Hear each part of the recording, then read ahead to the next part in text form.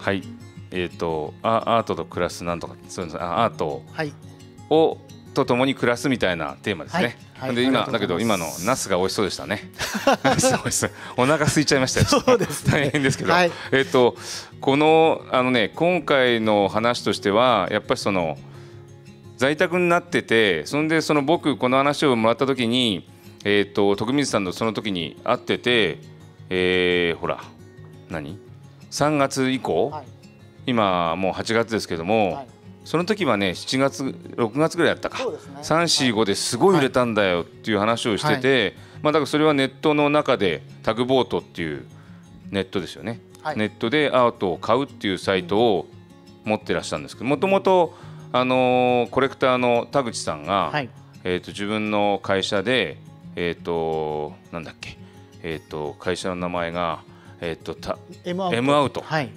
M アウトっていう会社で新しくアートをネットで買うっていうこれちょっと相当早かったですよね。今から16年前ですんで。16年前でしたっけ？日本で一番最初に現代アートをインターネットで売ったのがタグボートなんですよ。そうですよね。えー、と2003年の10月なんで、うん。もうすぐ17年に近くなります。あーすごい、はい。一番初めの時に俺なんか言われてアドバイザーみたいな感じでね。ずっとそのどういうサイトを作ればいいかっていう話してて、ん。でその後に何何台かあの、はい。その社長が社長っていうかその担当が変わってそのうちの最後が徳光さんで、徳光さんが引き受けたんですよね。えー、そうだれ M アウト何年前なんそれの第5代事業部長が私でございましてはい。でその後にその、えー株式会社ギャラリータグボートっていう形で株式会社うんうん。した時の社長で,、でそのまま、まあえーマネジメントバイアウトっていう形で独立したのが、はい。えー2010年の3月なんで。もう10年なはい、もう10年になります。はい。そういった本当に初めてのネットでアートを買う。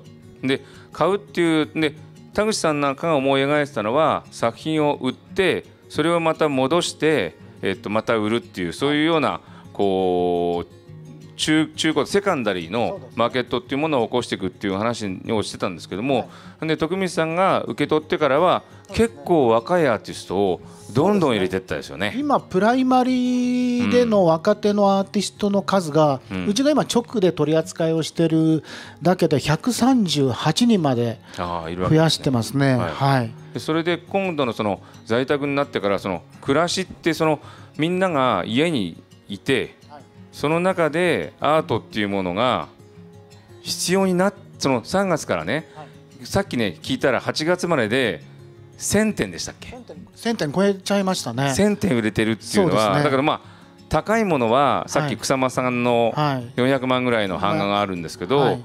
安いものは1万円、1万円ぐらいからありますね。うん。はい、それがやっぱりだけどそれ買った人たちっていうのは初めてなのかな、えーっといやあのー実際そのまあコロナになってから、あのウェブへのアクセスというのがまあ、えー今年の1月2月と比べても40%ぐらい、うん。まあ、去年比で50%ぐらい増えてるんですけども、でまあもちろんその中で初めて買った人もいるんですが、ん。結構リピーターが多くて、はい。えー4割ぐらいはその後も1回購入されてからも、うん。もう一度うちで買っていただくっていうのも多いですね。うん。だから、まあ、ネットでこうやり方が分かってで実際に買ってみてあなるほどっていうふうになってくると、まあ、慣れてくるというかう、ん。でややっぱりその靴とかでも最初、自分で履いてもないのに買うのって怖かったんですけど、うん。最近私普通にアマゾンとかでスニーカー買っちゃうんでやっぱりこう慣れというのはあるのかなっていう気がしてますね。特にそのこのコロナで最初に買った方がまた、えーまあ、リピートして今後も買っていただければなというふうに思ってますね。でもその時はい。にそのアートっていうのがそのなんだ暮らし暮ら自分のほら家が家が家にいる時間が長くなって、はい。その時にやっぱりその必要になってきたのかな、どうですかなんかね。いろんなそのコレクターの人たちからのはい。はい。反応とかってはい。あったりするんですか、えーっとなんというんですかね、まあ、例えば Zoom の後ろのところに、うんまあ、作品が映ってる方がいいとか、うん。そういうことではなくて、あはいはい。どちらかというと作品だったりとか、うん。作家だったりとか、そういうまあ、人間アーティストという人間に対する興味を持ってもらったりとか、はい、作品そのものに興味を持ってもらうつまりインテリアとして部屋に飾るだけではなくて、うんうん、その時間ができたんで、うん、アーティストってどんなやつがいるんだろうって調べると、うん、結構ちょっとこう変わってて面白いかったりとか、コンセプトがこう共感できたりとか、まあそんな感じでえー、興味を持っていただける人が増えてきたのかなって感じですね。だから部屋を美しく見せたいというよりも、うん、できた時間で、アーティストだったりとかアート作品に、うん、まあ単純に興味を持ってもらう人が増えたっていう感じがしますね。そそ僕ら僕はこのギャラリーをやってるんですけども、はい、ギャラリーってやっぱりそのその見せるものとしては、まあ、アート作品はそれで僕らの場合は実物が見れるんですけども、その多分そのそれだけじゃなくってそのネットの場合は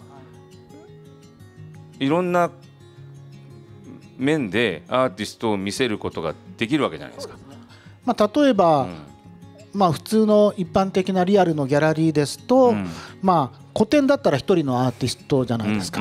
でいきなりその個展に行って、うん他の取り扱いの誰々さんを見せてくださいってなかなか言いづらいですよね。でそこでまあうちの場合だと、まあ、今ウェブで1万5000点ぐらいあって、まあ、いろんなアーティストが見れる。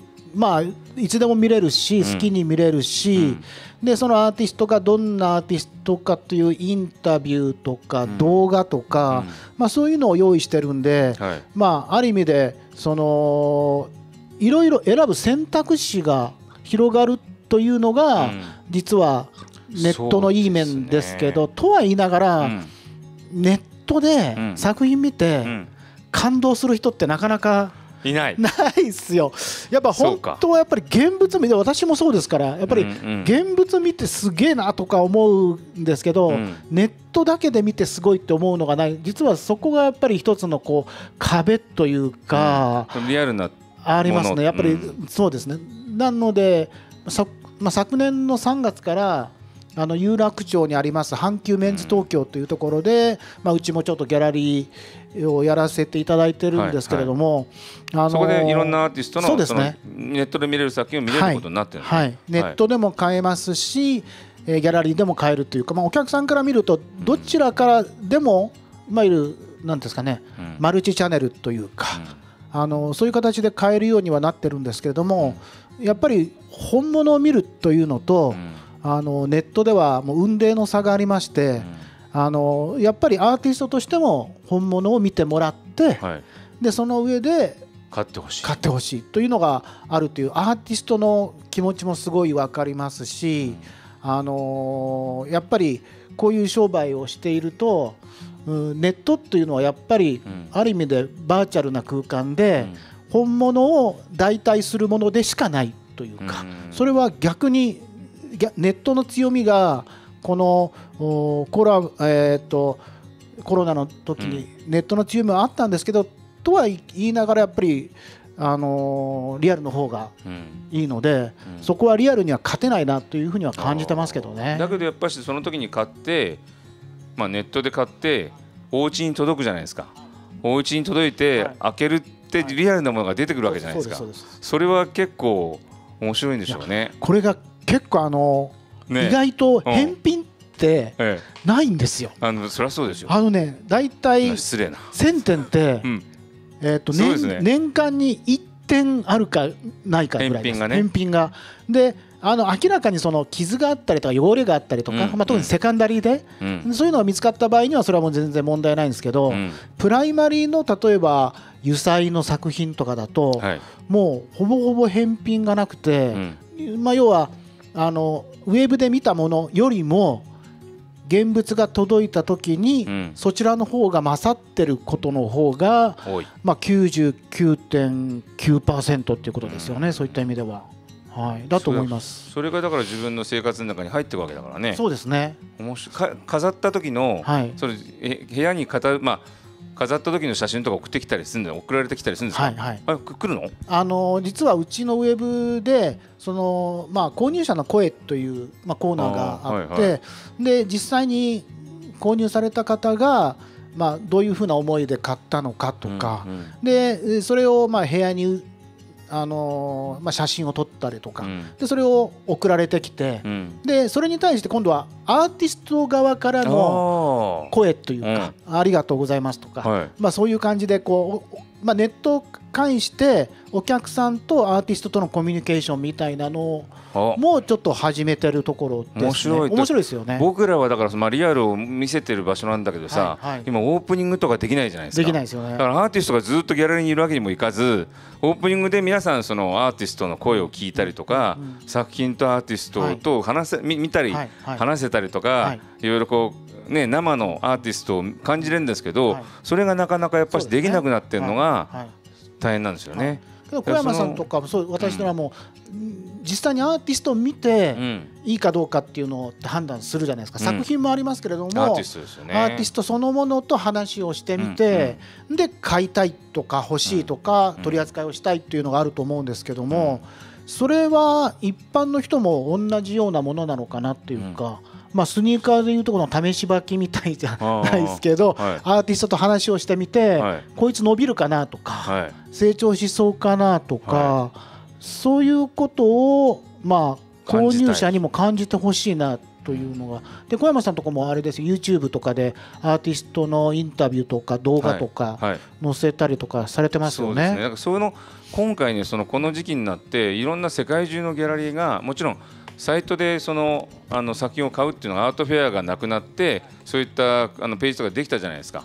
だけどそれ以外にあのアーティスト自身がいろんなこう発言をするとか庭を紹介するとかなんかいろんなことがやってたりするサイトとか出てくるんですよね。だからそういった意味でアーティスト自身に接接しられるその買うっていうことだけじゃなくってそのアートのもともとの本質的な部分なんですけど作品のこととかアーティストのこととかにの絵のこの、えっと深まり方がすごい増えたっていうのはすごいですよね。はい。でそれをだから徳光さんも自分のサイトの中で今もアーティストとどんどんインタビューしてるっておっしゃってましたけど、逆にそのコロナが始まって、そういうアーティストのインタビューとか、うん。アーティストもしくは作品に関するそのコンテンツを増やしたって感じですね。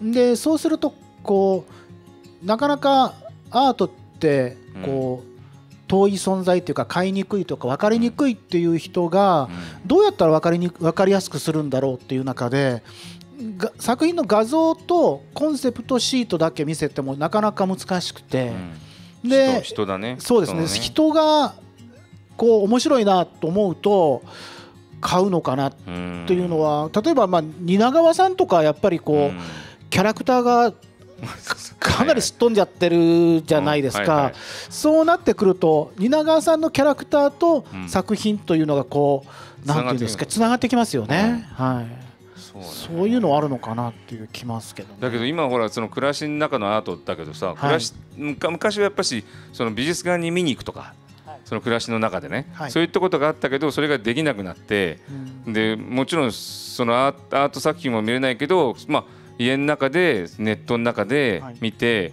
まあ、美術館に行くとそのそこの美術館の作作家のアーティストゴッホとか会えないじゃん？はい。だけどそう考えると、ね。あの今の作家の人たちははい。見れたりするし、はい。そういった意味ではすごいその時間があるから、はい。そのよくわかんないけどタグボートに乗ってる全部の作品を見るかわかんないけど、はい。なんて言うんだっけ？1万5千点だっけ？1万5000点ほどあります、1ね、万5千点をこうはい。ずっと見てる人とかはい。いるのかもね。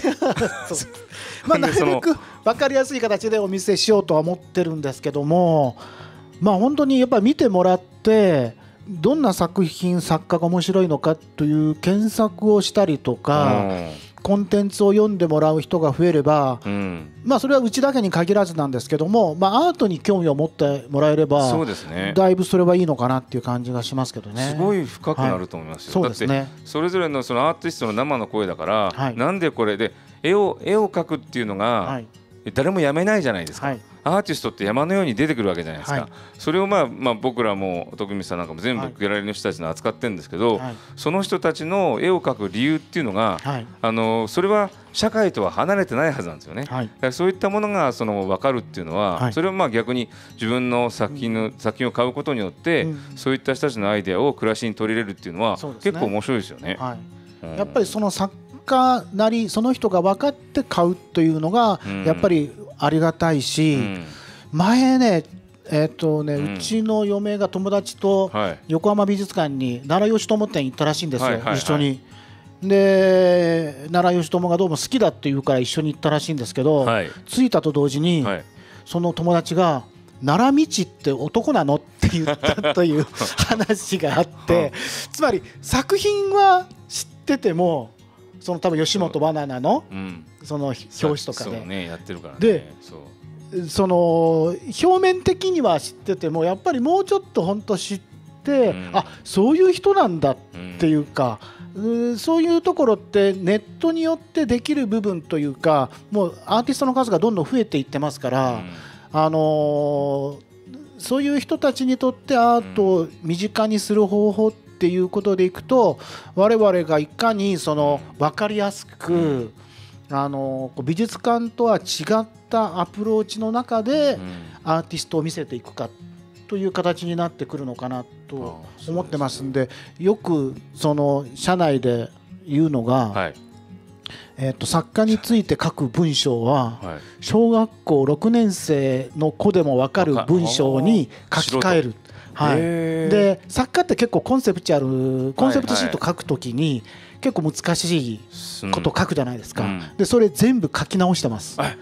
書き直してます。はい。すごいでもちろん残すんですよ。はい。まあ難しい方も。そうでただ我々が書く方は小学校6年生でも分かる言葉に全部書き直してますね。あのタグボートの紹介は。はいはい、はい、っていうこともやらないとこう作家とえー、っとまあ一般の人とのなん壁というか、そこでこう難しい言葉だったりとか、カタカナだったりとか、そういうのをなくしていくということができないかなというのは最近やっぱり考えますね。はい、そうするともっとみんなが、はい、アートに。アートって結構難しいかなと思ってたけれども、まあ、思ったよりもなんかそのなんていうんですかね。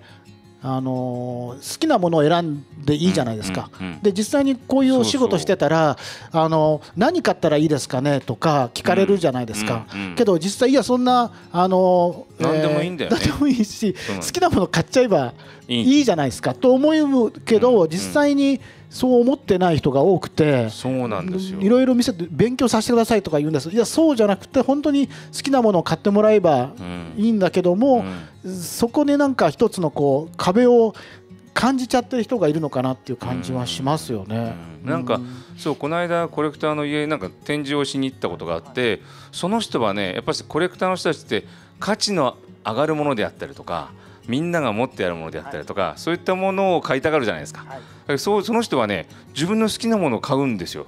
ただ単純に、でそれのすがすがしさっていうのはね一番ポイントとしてはそれがすごく大事なんでだけど自分の好きなものを明確にするっていうのは結構、はい、あのいろんな変な生き方してないと分かんないじゃないですか,、それはなんか面白いですね。選ぶっていうのはね。なんかねあのー、13歳の、何でしたっけ？アートなんとかって本が最近。出たの ?13 歳のアートアート思考。であれが読んで面白いなと思ったのが、うん、つまり作家のがこうだって言ってる内容を理解しようとする必要はなくて、うん、作家の作った作品を持ってそれぞれに考えて理解をすればいいという、うん、つまり答えが正解はないみたいな、うん、自分の中で消化して、っていうのが多分なくて美術館に入ったら、そこでその作家プロフィールをまず読み込んで、その作家の、えー、意図を、どうで自分の中でそれをこう確認理解ってなってくるとやっぱりよくないですよ。よくないっすよね。そうそれはよくないよね、はい、だってアーティストがやりたいと思ったことじゃないものをその絵から感じることだってできるから、ね、そうですね、うん、そうなんですよ。だからアーティストが意図してないものを、うん、えー、感じたりとか面白がるっていうことが一つのアートの楽しみ方っていうのを、えー、もっともっとこう広げれば、うん、なんか日本人ってどうしてもこう一生懸命こう勉強したりとか、うん、えー、正解を求めようとするんですけど実はアートってそこに正解がないのに求めようとするから難しいと思うのかなっていう感じを最近しててだからもっともっとこう自由にきなもの買えばいいのかなっていう気がするんですけどね。そう思いますね。はい。それね最近特に感じてますね、はい。今最近いろんなコレクターの方増えてるんですけど、やっぱりその人たちにもだからやっぱしなんか本当にそういう勉強じゃなくってどんどん買ってってほしいな。そね。それのその力っていうのは結構いいかなと思いますよね。で失敗してほしいですよね何回そうかね。あそうね あのそうそうやっぱこうねあとね、はい年によってどんどん変わっていくわけですよはい思考とかも、はいそれも経験するだろうしそうですねんはいだからいろんなことがその中にあるっていうのは、うんあのー経験していった方がいいですよね。そうですね。うんはいだからそんな感じがしてます。はい。うん。あと何分ですか？あと10分。はい。はい。はい。どうしましょあのそうですねう。。なんか質問ありませんか？何か質問とかあれば、はい。そう言ってあの東急の人にはい。お客様の声。はい。いやーまああのーまあお客様によっていろんなこうやっぱり最初に買うときうに、ん。ウェブで買うのってこう怖いというかいうのがやっぱり思う人が多くてう、ん。で何も何を買えばいいかわからないしとか。うん。でどこかのそのギャラリーで見たりとか、うん。どこかの展示で見たりということであればうん。分かりやすいんですけど、い。きなりウェブから初めて見てというのはやっぱりこう、えー抵抗感がうん。あるのかなというお客さんがやっぱり最初比較的多いんですよね。はいでそこで、まあ、アーティストの人なりみたいなのをウェブで知ってう、ん。で、まあ、まあ最初は安いやつから、うん。まあ、本当に3万円ぐらいのやつとかみ見せる見せたりする場所はあるんですか？そのこれが見たいですえーっとね持ってったりするの？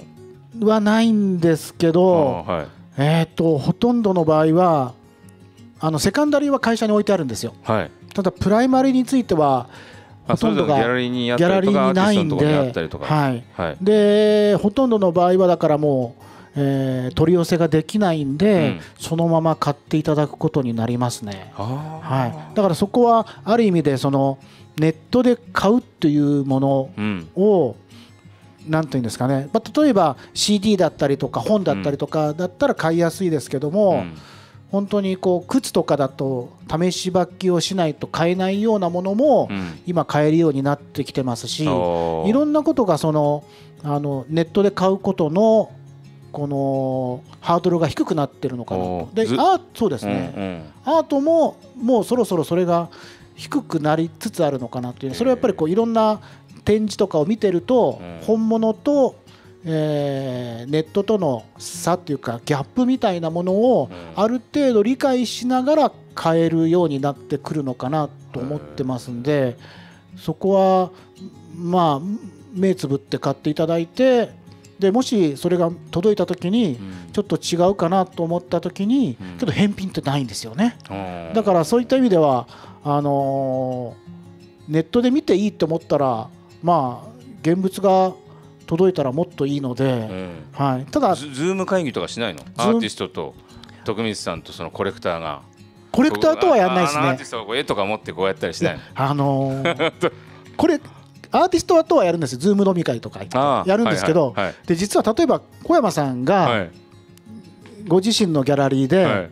えーっと購入者の購入者ベスト20、はいね、売上ランキング購入者のベスト20って 大体顔みんな知ってますよね、はい。でしょ、はい。私ねこの間ねベスト20のうち知ってるの1人だけだったんですよ。ああとの19人は顔見たこともないんですよ。ああそうなんですか。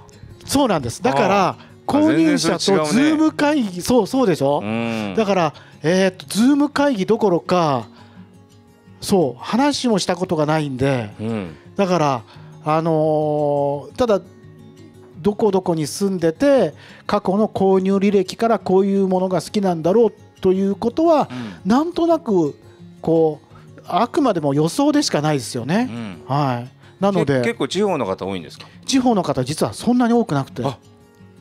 首都圏が3分の2ですね。でこれなんでかというと、はい。あのアートに関するリテラシーが高ければ高いほどうん。ネットで買えちゃうんですよ。あそまあそうさっき言った現物を見てるそうですそうですそうです。回数が多かったりとか、はい。なんとなくそういう若い人たちのやつも見れてるとこがあ,、あったりするとね。ートを分かってうん。ネットでも買えちゃうやっていう人なんてやっぱり首都圏でいっぱいアートを見てる人なんで、はい。だから地方だと百貨店ぐらいしかうん。現代アート買えないじゃないですか、はい。だから買うのかなと思うとそうじゃなくて地方の人も東京にいたりとか、はそういう子から地方に行っちゃった人はい。とかの方が多くてずーっと地方にいるいてっていうのは少なくて、まあ、か結構東京でお仕事のある人とか、はい。そういう人はいますけども、え。やっぱりなんだかんだ言って圧倒的に首都圏ですね。